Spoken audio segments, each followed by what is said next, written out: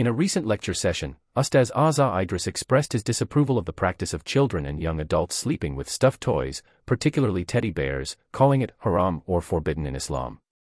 The prominent preacher suggested that parents should discourage their children from sleeping with dolls or toys like teddy bears, emphasizing that such items are meant for play, not for sleeping. Azhar argued that the trend of older girls, aged 18 to 20, sleeping with teddy bears is influenced by celebrities. He urged fathers to check their daughters' rooms and discourage the presence of these dolls, considering it against Islamic teachings. Moreover, Azhar extended his advice beyond households, stating that homes with such toys would not be visited by the angels of mercy.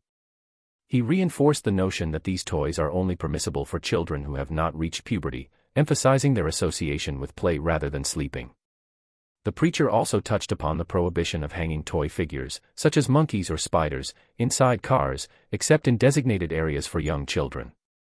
According to Azhar, the purpose is to prevent distractions while driving.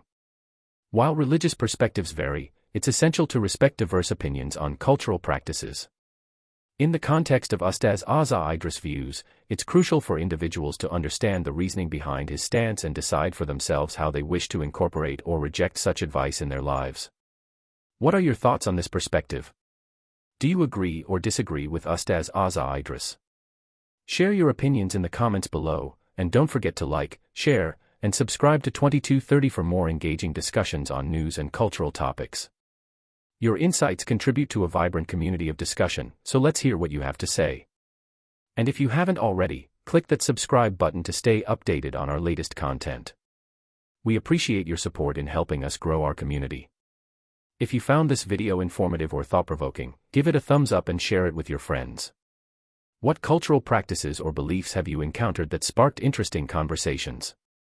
Share your experiences in the comments section below. We love hearing from our viewers. Thank you for tuning into 2230. Until next time, stay informed, stay engaged, and don't forget to hit that notification bell so you never miss out on our latest content.